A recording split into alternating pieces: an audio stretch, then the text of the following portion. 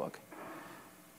That's why I wrote Answering Jihad, and that's why I put the subtitle A Better Way Forward. What do I mean by a better way forward? Truth and compassion, both. That's what I meant by a better way forward. Now, what gives me the right to talk about this? What, you know, who, who am I? I'm a Christian, right? How, how can I talk about this? On September 11th, I wasn't a Christian. On September 11th, I would wake up first thing in the morning and pray the Fajr prayer. I would go into the washroom. I would make sure to walk into the washroom with my left foot first. Why? Because according to the hadith, Muhammad would walk in to do uh, his washing with his left foot first. And then when he started to do the washing, he would recite certain prayers in Arabic. I had all those prayers memorized since I was five years old. I'd learn how to do the wudu, the ceremonial cleansing. Right side, then left side, three times on various parts of your body. Then I'd go down to the prayer rugs and I'd pray the first of the five daily prayers. Throughout the day, I would recite portions of the Quran. Surah Al Baqarah, my mom had taught me to recite Ayat al Kursi, a long verse of the Quran, praising Allah. She taught me to recite a section of the Quran from Surah Al Baqarah that begins with Rabbi Zidni Rabbi Shahli Sadri wa it's, it's asking God to give me knowledge. Uh, it was based on a prayer of Moses, supposedly. The Quran records a prayer of Moses where he asked God for knowledge. I would pray that every day. That was my worldview. I loved Islam. I'd been taught to read the Quran in Arabic. I didn't know how to speak Arabic, but my mom had taught me to recite the Arabic of the Quran starting at the age of three. She didn't even teach me English first. I learned how to recite the Arabic of the Quran starting at the age of three. By the time I was five years old, I had recited the entire Quran in Arabic, memorized the last seven chapters. And I would invite Christians to accept Islam. I would ask them questions like, Why do you believe in a Trinity? Isn't that polytheism? I would say, How can you believe the Bible? Hasn't it been corrupted? I would say, Jesus never claimed to be God, he was just a prophet. He's a Messiah, sure, but he's not God. I would challenge Christians on all these points because I loved my Islamic faith. I saw it as the true monotheism. I did see it as the religion of peace. My family never gave me the details on, on the battles that Muhammad fought or on, on the, the traditions of the hadith. Sure, I memorized some hadith. The first hadith I memorized was um, uh, Innamal amalu biniyat. Deeds are judged by their intentions. One of the first hadith from Sahih Bukhari. I'd memorized hadith, but they didn't share the difficult parts of Islam with me. So I didn't know about the battles that Muhammad fought in detail, just in broad strokes. And so I thought Islam was a religion of peace. And whenever somebody asked me, Nabeel, how do you, how do you understand this when the USS Cole was attacked just now by Muslims? How do you understand that? I thought you said Islam is a religion of peace. And I'd say it is a religion of peace. When 9 11 happened, I was shaken. I was completely shaken from my core inside and out. Why? Well, everyone in the US was shaken. Uh, they felt vulnerable for the first time in a way that they had never felt vulnerable before. So, being an American, you know, I was an American Muslim. I was both American and Muslim, not one or the other. Being an American Muslim, I, I loved my country, and all of a sudden I felt vulnerable too, just like everyone else. But at the same time, people began to ask those questions How do you explain this? So, I had to answer by saying what I always believed Islam is a religion of peace. That's what I would say. I just say, look, Islam's a religion of peace. And in our mosque, actually, by the way, I had just visited the mosque here in Maple, Ontario. Uh, my, my family and I came up to this mosque quite regularly because my aunt um, lives, uh, lived up here in Toronto. She has since moved to, to Milton. Milton, right? She lives by the Hilton in Milton. I love it. Um, but we came up here all the time. At this mosque here in Maple, Ontario, we were taught to recite this slogan. If someone says to you, asks you how those hijackers uh, reflect Islam, whether they reflect Islam or not, here's what you're supposed to say in response. Not only did they hijack those planes on September 11th, they also hijacked Islam. We were taught this slogan, how to respond. They didn't just hijack planes, they hijacked Islam. Islam is a religion of peace. Don't judge Islam based on what they did. So that's what I would say to people who ask me these questions. So, number one, I felt very vulnerable. Number two, I was trying to respond to others in the midst of my vulnerability, trying to respond to others and, and say, look, this is my religion. But number three, I had some people who would push a little bit further. That's what good friends are for. They, they push you a little bit further. And I had a friend who said to me, Nabeel, I understand what you're saying, but how do you, in light of what the Quran teaches, and in light of the hadith, the traditions of Muhammad's life and the Sira literature, how can you say Islam is the religion of peace in light of that? And for years, I would give him the answers that I was taught to give him. I would basically go to an imam, or I'd go to my parents, or I'd go to friends who were learned, and I would say, How do you, how do you explain this? They would give me an answer, then I'd go back to my friend, and I would regurgitate what they said. And it was constantly like that. When I began to realize we might have a problem, is when I had about a hundred stories about Muhammad's life that did not fit the paradigm I had been taught. What am I talking about? Okay? Sahih Muslim, for example. Okay, so for those of you who are not Muslim in the room, uh, you have to understand uh, people who are raised in an Islamic context uh, are taught from a very young age, if they're devout, not all Muslims are devout, of course, but those who are devout, as our family was, are taught from a very young age that, Islam, that Muhammad was the most perfect man who ever lived, that he was the best general that he was the best father, that he was the best husband, uh, that he lived the most upright life, that he followed the Quran to a T. He is the example for Muslims, says chapter 33 of the Quran. He is the perfect exemplar. And that's why in Islam we called him Al Insan Al Kamil, the perfect man. Given how perfect Muhammad was, my friend then started bringing accounts to me, saying, What do you do with this account? Do you trust this book? Do you trust Sahih Muslim and Sahih Bukhari? And my answer would be, Yes, I do. And then he says, What do you do with this account? And he brought me, one of the first ones he brought me was uh, when Muhammad punched Aisha in the chest. Aisha had been following Muhammad in the middle of the night. Uh, Muhammad has multiple wives. Sorry to go into some of these details, but this is, I'm just giving you context. Muhammad has multiple wives, and he's supposed to spend a night with only one wife at a time. He can't, like, you know, double dip. So he's, he's spending time with one of his wives. He leaves her tent and then she's worried he's going to another wife's tent. So she follows him out to see what he's doing. Turns out he's just praying, he's being faithful. When she sees that, she goes back. Muhammad notices that she's there, he follows her. She starts going faster. He starts going faster. She starts running. He runs after her. She gets to the tent, lies down, pretends to be asleep. Don't forget, Muhammad is way older than Aisha. He married her when she was uh, six years old and he was 49. Uh, so she's, she's running back into this tent as fast as he can. When he gets to the tent, uh, to be fair, they didn't, they didn't live together until she was nine. So he was 52, she was nine. Um, they get back to the tent. Muhammad says, Aisha, why are you breathing fast? She's trying to catch her breath still. Uh, and she says, Oh, no, nothing, it was nothing. And that's when he punches her in the chest. And the hadith says he punched her in the chest, causing her pain. Now, I had been taught that Muhammad was the most loving husband who would never hurt his wife. Even though the Quran says you can, you can beat your wife, chapter 4, verse 34 of the Quran. Um, Muslims will say, no, it means lightly. It doesn't, it's symbolic. That's what we had been taught. Um, but this says he punched her in the chest, causing her pain. I think, by the way, for those of you who want to know, I think this is Sahih Muslim 1727, uh, but uh, I, don't, I don't have that reference on me right now, but you can look it up easily. I said to my friend David, I don't trust this hadith. This hadith must be false. I went to my imams. My imam said, yes, this hadith is false. I came back and I said, this is not a reliable hadith. Muhammad would never do such a thing. David's like, fine, what do you do with this one?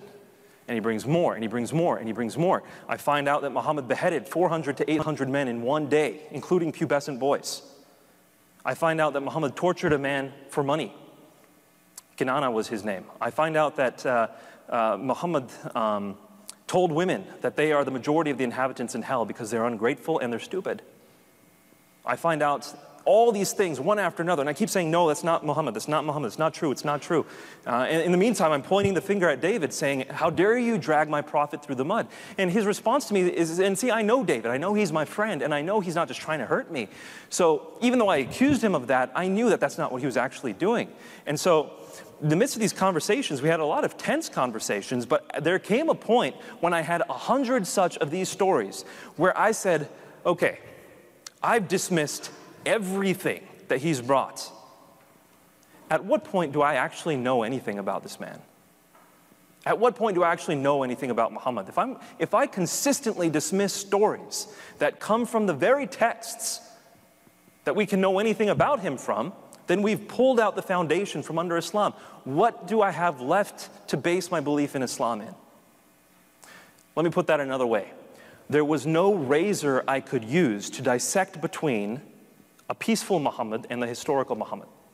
I couldn't just, I, there, there was no way I could say, this is how we can know Muhammad's peaceful. If I went historical, the violent and the good all came in together. Otherwise, I was just cherry picking the bad stuff out and making up my own Muhammad. And you can make anyone look nice if you, if you pull out stories that, uh, that you don't like. Slowly but surely, I never lost my love for Islam. While I was going through this, I never lost my love for Islam. I continued to pray. In fact, I would make sure to go to the Friday prayers, whereas before I was a bit lax about the Friday prayers. Uh, I would learn more about the hadith. I started wearing my skull cap more. I started growing out a beard because I still loved Islam, but all of a sudden I have all this cognitive dissonance because of the stuff I'm studying. So now that you have that context, let me tell you what I found out about some of these battles that Muhammad fought.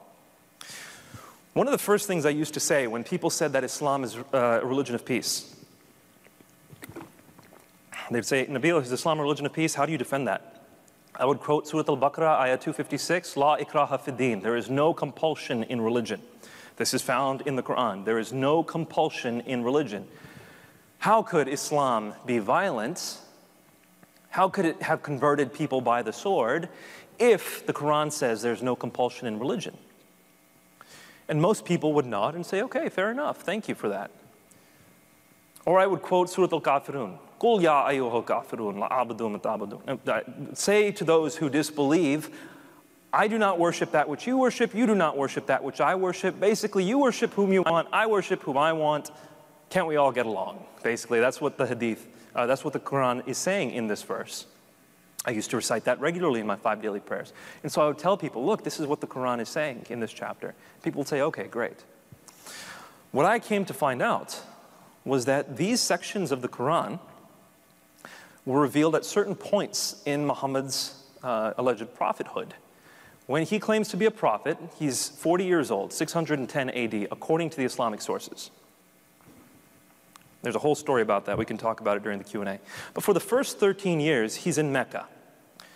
And during those 13 years, he preaches monotheism, he preaches taking care of widows, preaches taking care of orphans, he preaches taking care of travelers, uh, and this is the message of Islam that we see during the first 13 years of Muhammad's time as a prophet. A lot of this makes sense, by the way, because Muhammad himself, uh, his father died before he was born, Abdullah. Uh, he died before he was born. Uh, and so Muhammad had just his mother for the first few years, Amina. Um, and then uh, Amina died uh, shortly thereafter when he was six years old. He went and lived with his grandfather. His grandfather then died when he was eight years old, so he went to live with his uncle. So he's been moved around. He knows uh, how difficult it is to live as an orphan. So he says, take care of orphans, take care of widows. Uh, it's a great thing. By the way, you might be like, why is he telling me some of these names? I'm never going to remember these names. Uh, the other day, um, Boko Haram uh, executed a bus full of people uh, and in order to test whether someone was Muslim or not, they said, What was Muhammad's mother's name? And if they knew it was Amina, they'd let them off the hook. So, Amina, that's, that's Muhammad's mother's name. Um, so, Muhammad is teaching all this, this good stuff for the first 13 years. But then Muhammad flees to Medina. And when he gets to Medina, he has a city under his control. Why, you ask?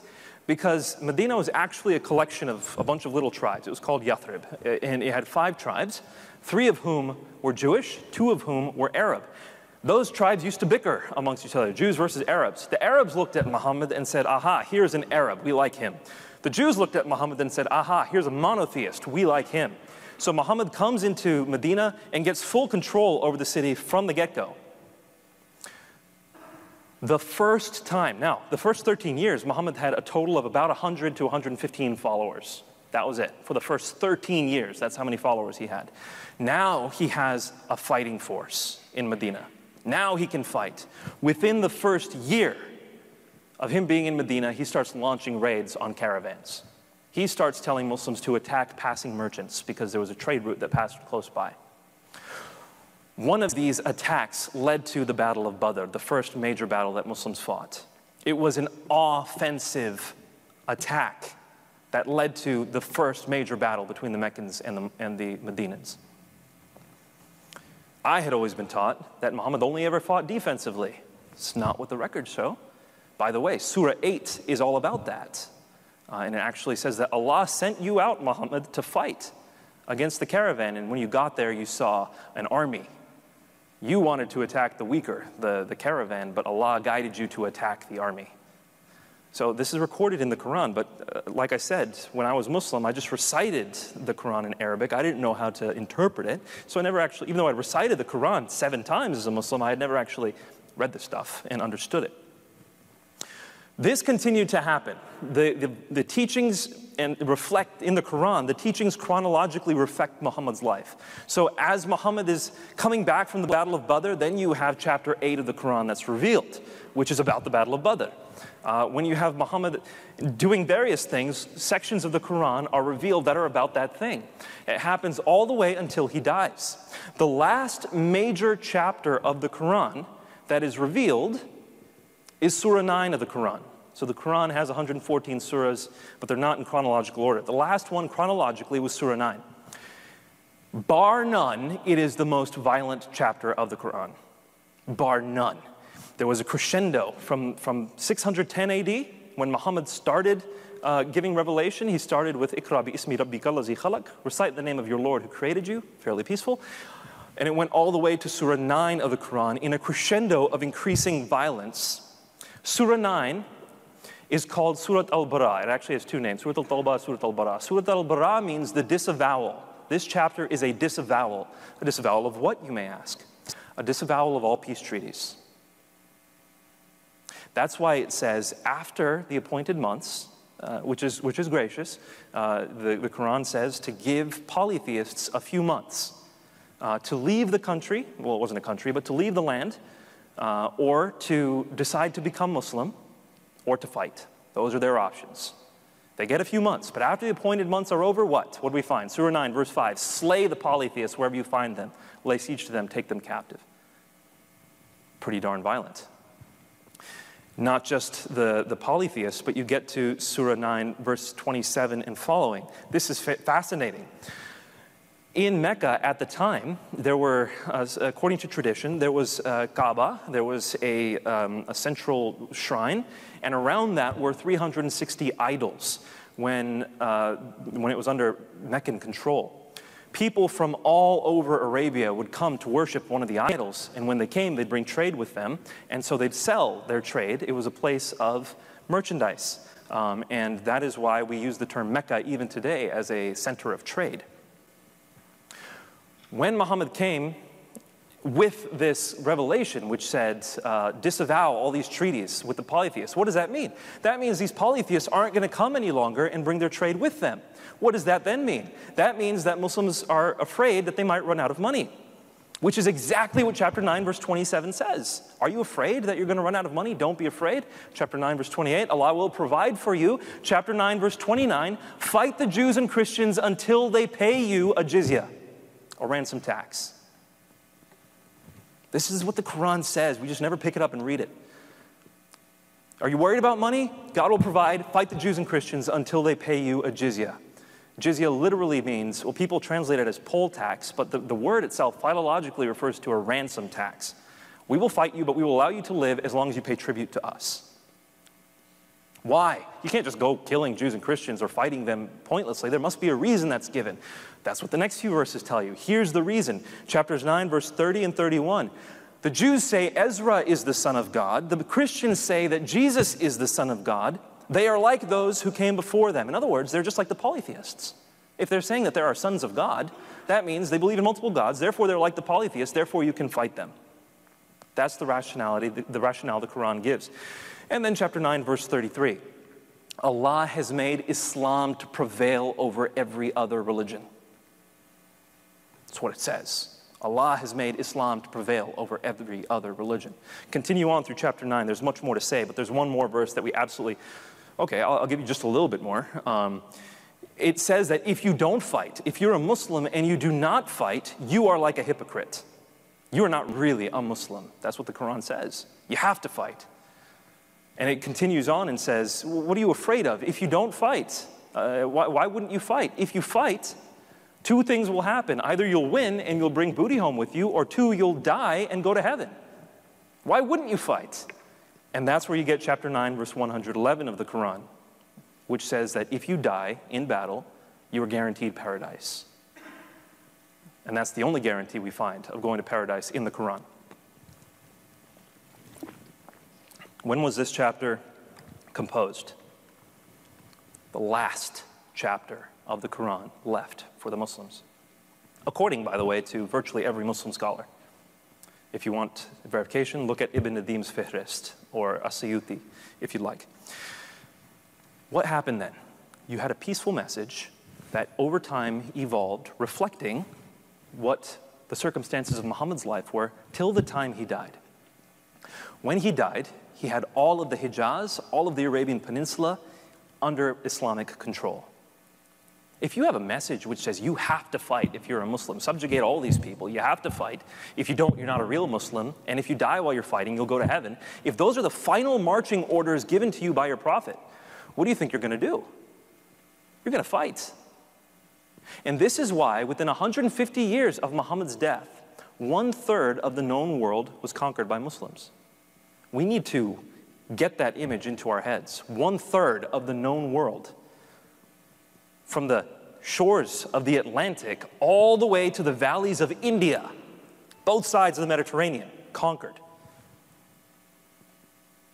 Because the message was one that launched Muslims into an undelineated, undelimited warfare. Of course, people did get tired of fighting after a while. After about a few hundred years, there was a new allowance for Muslims to stop fighting and that was that polytheists could also pay the jizya. So by the time Sharia law became codified, it wasn't codified during Muhammad's life, it was codified by great jurists, uh, the great classical jurists a few hundred years later. By the time it was codified, Muslims could get not only Jews and Christians, but also polytheists to pay tribute if they didn't want to be fought.